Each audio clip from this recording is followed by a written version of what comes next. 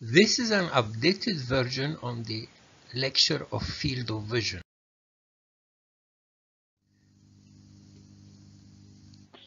Next point is the visual field indices.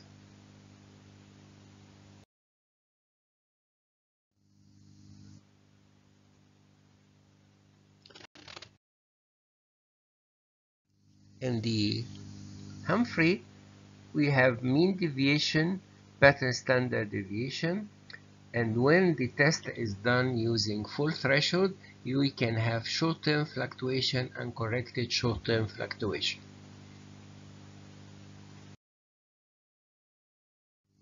In the octopus, we have mean deviation, loss variance, extra we have here mean sensitivity. And if the patient was examined twice this is phase one examination full full test full points tested then repeating full test again in such a situation the short-term fluctuation and the corrected loss variance will be written here.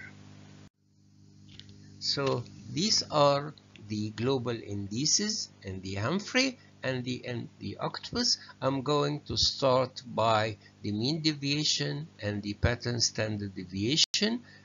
Same thing, the mean deviation in octopus and loss variance in octopus.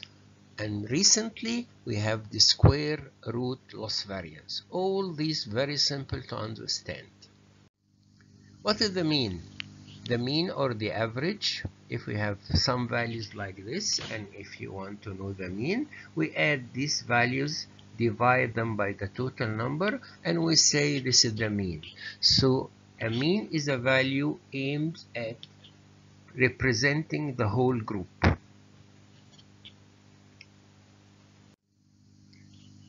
Now what about the mean deviation if this is represent the normal field and these are the sensitivities of the different points of our patient. And we want to know how much our patient is away from the normal. So we start to check each location and see the difference. So we have differences from 5 6 2 1 2 and so on. And then we want to have one value to represent the whole field. Then we're going to calculate the mean of all these differences. And this is the mean deviation. It is shown here. Now this is the health of patients. Over the time it's getting more affection. The blue part the dark blue part is the normal and the pink is the health of the patient. As you notice here, the field is universally depressed and as the differences increases over the time, the mean deviation will be higher and higher. So the mean deviation give us impression about the height of the field of vision when the mean deviation is between 6 and 12 we say that we have moderate depression of the field. Below 6 it's a mild depression. Above 12 it's a severe depression of the field. So whenever we see mean deviation we have this appearance in our mind the height of the field as a whole is it close to normal or markedly away from the normal? We are using the mean deviation. Normally it is around 30 or 35 so as there is field damage the mean deviation will start to get values minus 1 minus 2 up to minus 30 or minus 35 when our patient get a mean deviation up to minus 14, this is fine with life. But starting from uh, 14, there will be visual impairment If the mean deviation is below 22, this is legal blindness. The second point is the variance and the standard deviation. Again, it's very simple to understand. Suppose we have a group of five persons and this is the height of the five persons. Now we have another group but one is quite tall and one is quite short. And then a third group, the first one is much taller and the last one is much shorter. If we calculate the mean, going to add these values, divide them by the number, then we have the mean. As you can see, the mean of height of these persons is almost uh, 165.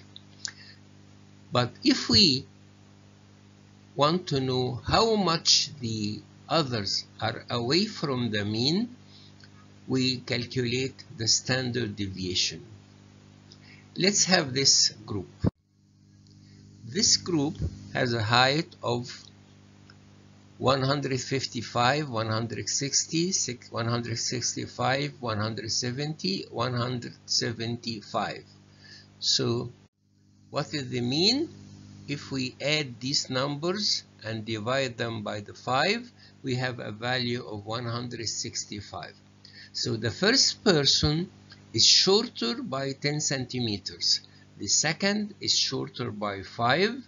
The third, no difference. The fourth is taller by 5. The last is taller by 10. So the whole group, how much there is a difference? If you add all these numbers, you will end with zero because some of the values are minus, some of the values are plus, and the mean is exactly in the middle. So I'm going to cancel everything. So they thought, let's get rid of the minus sign. To get rid of the minus sign, let's square everything. So each number is squared on this uh, part of the table. Now if we add all these numbers, we get one value. This way they got rid of the minus sign and they have a value.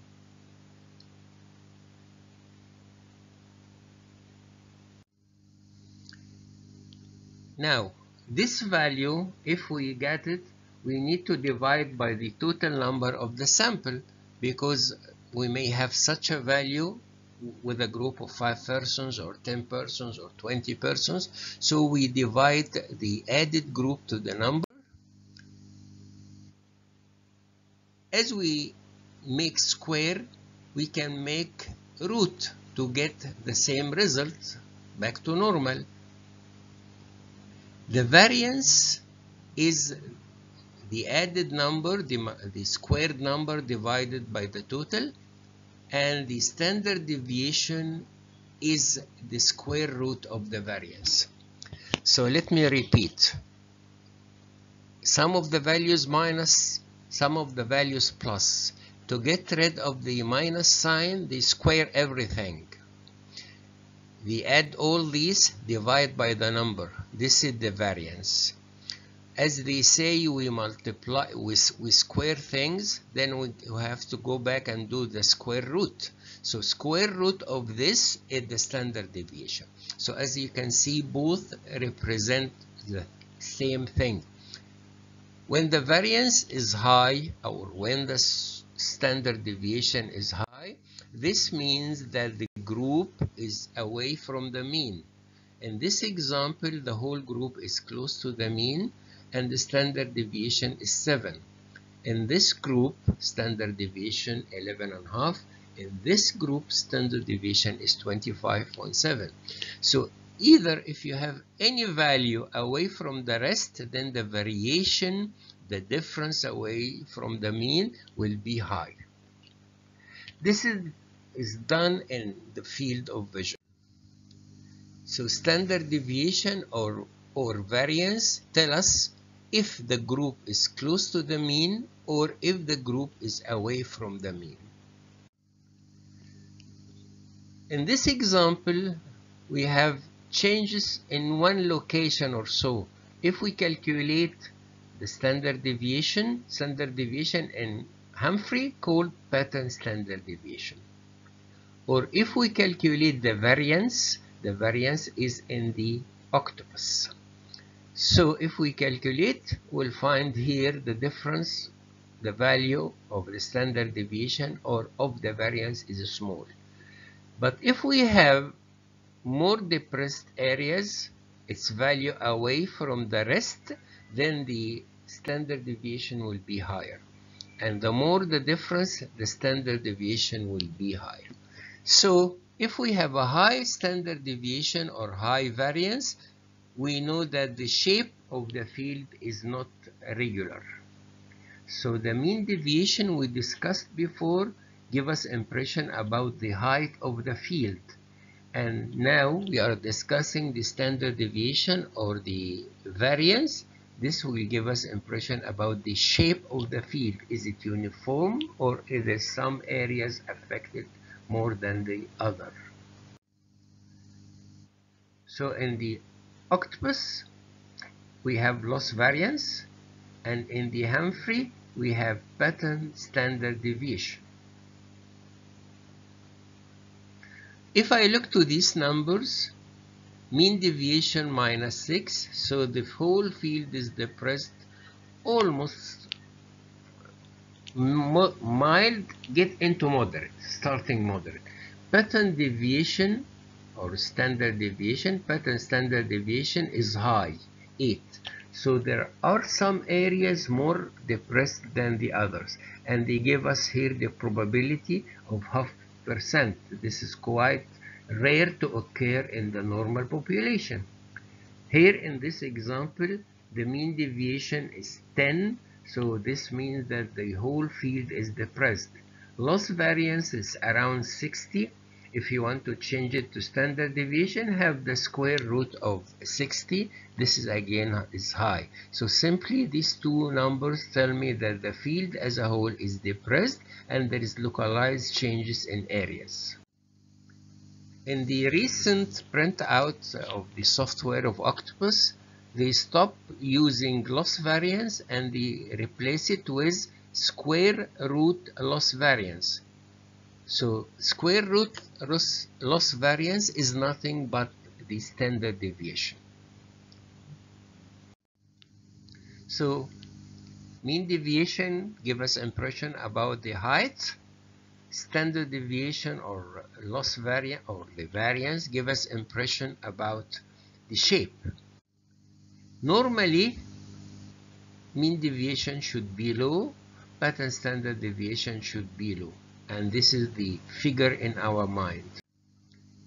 In this example, we have affection all over, so the mean deviation is low, abnormally low, but there is no localized changes, so these are normal. A pure diffuse effect can be recognized by the mean deviation more than 2 decibel and the loss variance is within normal it is less than 4 if you get the square root of 4 it will be standard deviation. If a standard deviation if it's less than 2 this is normal. So the normal limit of the mean deviation is 2 the normal limit of the standard deviation is 2 the normal limit of the loss variance is 4 So this example is of a pure generalized depression. This example you get the mean normal but we have just localized changes so we have abnormality here.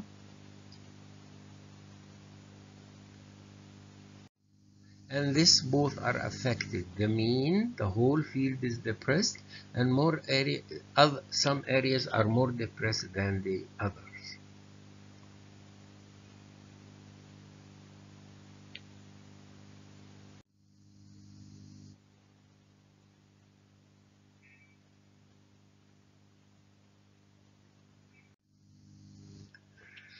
Then we come to this part, the short-term fluctuation and the corrected pattern standard deviation.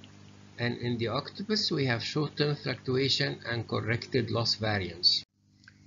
The short-term fluctuation or the intra-test variability to be shown 10 points are re-examined twice. So the sensitivity of these 10 points are shown twice. We have different in the sensitivity of each test.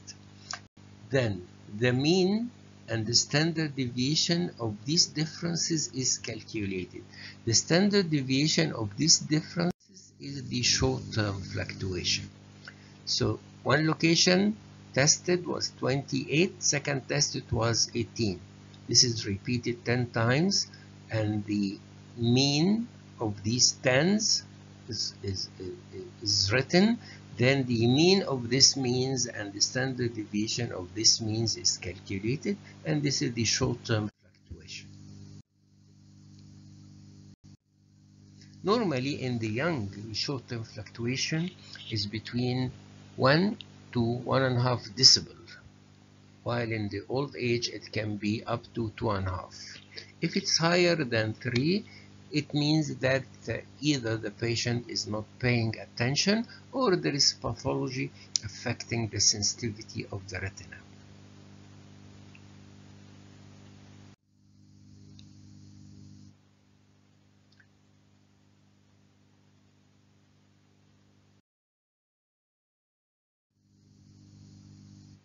Here we